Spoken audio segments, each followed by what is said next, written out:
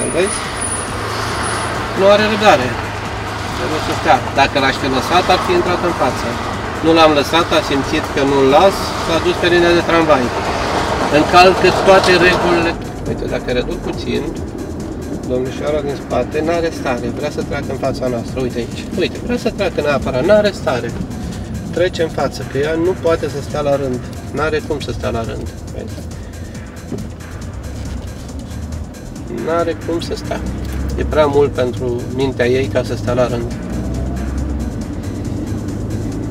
Unde a ajuns? A ajuns puțin mai în față, n-a ajuns departe. Da? Da. Nu contează, ea pe stânga, pe dreapta, pe linia de tramvai, trebuie să treacă neapărat.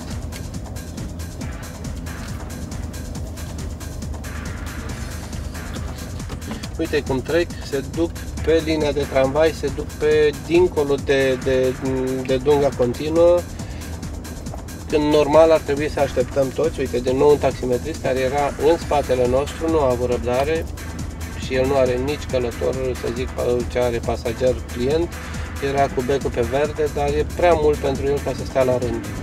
Da? Ce înseamnă asta? El pleacă din spatele nostru și intră undeva în fața noastră. Adică noi fraierii suntem din ce în ce mai în spate, pentru că ei sunt acea specie mai importantă, mai specială, cei care au jeepuri, cei care au uh, taximetre, cei care sunt, așa zis, uh, șmecherii care nu au răbdare să stea la rând. Taximetristul, uite, și acum trece pe lângă noi, nu poate să aștepte. El este regele uh, șoselelor, el are drepturi, el e cetățean european, aș spune eu cu ghilimele, și are drepturi. Dar nu e adevărat, a reușit, s-a strecurat, a intrat în față, un taximetrist nu va sta niciodată la rând. Sau o parte din taximetriști nu vor sta niciodată la rând. Bineînțeles că a ieșit unul din coloană care nu mai avut răbdare și a zis eu sunt prea ocupat ca să stau la rând.